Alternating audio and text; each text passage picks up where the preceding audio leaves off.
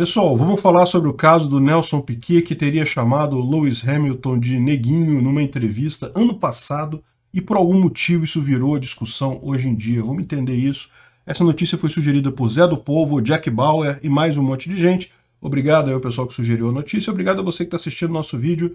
Se você gosta do nosso conteúdo, por favor, deixe o seu like e se inscreva aqui no canal. Né? Pois bem, tem dois aspectos que eu acho muito interessantes sobre esse caso, e, é, mas antes deixa eu contar o que, que é o caso, né, para a gente saber o que está falando. O Piquet, que foi o maior corredor de Fórmula 1 brasileiro, na minha opinião, melhor que Senna, melhor que Fittipaldi, melhor que qualquer um deles. Agora, sempre foi um cara polêmico fora das pistas, sempre foi um cara que falou uh, algumas verdades inconvenientes ou ácidas, dependendo do seu ponto de vista. Ele sempre foi isso, sempre teve, mesmo na época que ele era piloto, ele falava uh, algumas coisas muito controversas.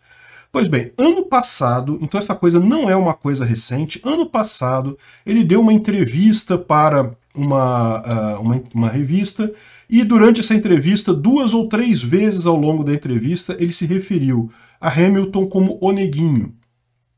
E uh, por algum motivo, eu, é, e isso é um dos pontos que a gente vai falar agora, né? Claramente você sabe qual é o motivo quando você vê as manchetes, né?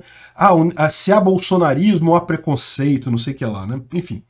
É, é, o fato é, por, por, por interesse político, é, retomaram essa discussão, pegaram essa entrevista que ele deu ano passado e trouxeram para agora, e aí estão falando, não sei o que lá, olha só, que porque o Nelson Piquet é bolsonarista, então se é bolsonarista tem preconceito, não sei o que lá, e tal o Ricardo Kertzmann aqui, né, que anti-bolsonarista convicto, falando que não, que absurdo, todo bolsonarista é racista e não sei o que lá.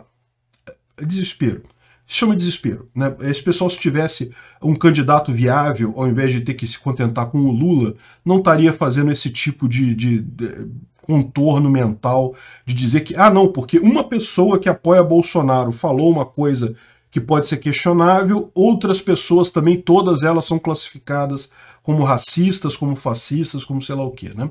Incrivelmente, eles não têm esse mesmo critério quando é o candidato deles, o Lula. Né? O candidato deles é, é, tá cheio de gente que fala em golpe, não sei o que lá, um, um monte de absurdo, mas por algum milagre, no caso do Lula, as pessoas que falam coisas erradas e apoiam o Lula, isso não se expande para toda a comunidade que apoia Lula. Né? É, é desespero que chama isso.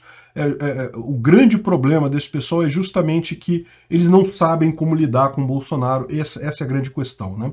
Não conseguem, tentam de tudo, fazem de tudo e não conseguem lidar com o fenômeno Bolsonaro, e daí chega isso daí. Agora, outro ponto totalmente diferente desse é o ponto da questão da palavra negro, porque, olha só, em inglês, a palavra negro é uma palavra que tem uma conotação muito ruim, é um insulto negro, né?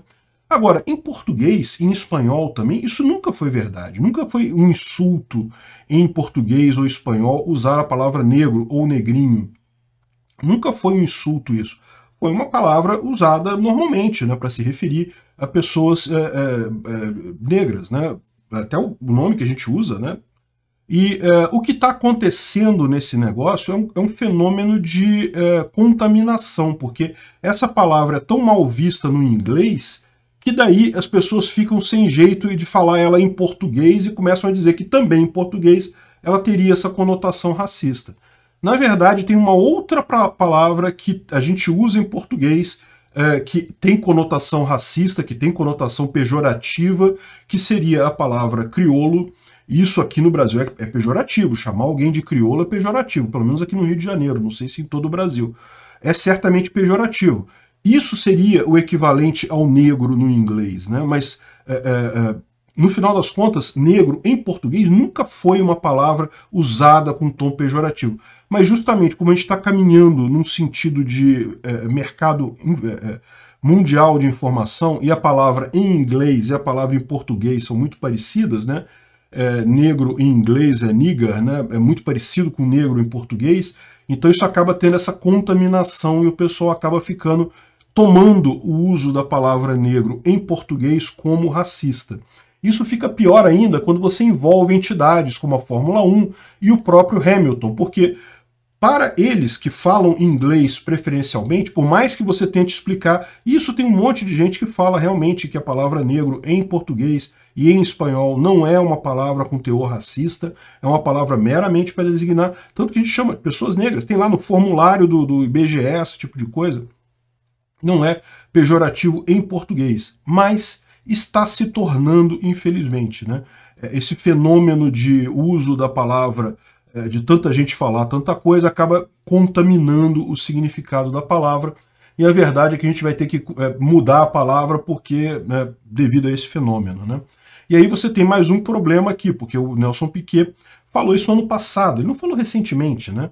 Então, assim, é, é, toda essa é, é situação foi claramente gerada por propósitos políticos para tentar atingir Bolsonaro, dizer, ah, não, Piquet é bolsonarista, então pronto, todo bolsonarista é racista e coisa e tal. E mesmo para fazer isso, tiveram que fazer a, a, a, unificação da palavra em português com a palavra em inglês, que não tem o mesmo significado, que não tem o mesmo peso é, é, racista por aqui. Né?